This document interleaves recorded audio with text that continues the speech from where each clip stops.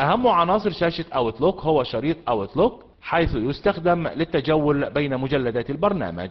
يحتوي شريط أوتلوك على ثلاث مجموعات من الرموز وهي اختصارات Outlook Shortcuts اختصاراتي My Shortcuts اختصارات أخرى Other Shortcuts. والوضع الافتراضي هو ظهور Outlook Shortcuts. أما إذا أحببت أن تغيرها فقط بالنقر على اسم أي مجموعة حتى تظهر رموز تلك المجموعة وتتوارى رموز المجموعة التي كانت ظاهرة ولا يتبقى إلا اسمها الذي يظهر أعلى الشريط أو أسفله حسب ترتيب المجموعة. وهكذا يمكنك إظهار أي مجموعة بالنقر عليها. وعند اختيار Outlook Shortcuts تظهر رموز يمكن اختيارها بالنقر عليها وهذه الرموز تمثل أهم المجلدات التي يحتويها Outlook وهي Outlook Today Calendar. Contacts Tasks Notes Deleted Items أما مجموعة My Shortcuts فتحتوي على بعض الرموز الأقل أهمية وهي Inbox Outbox Drafts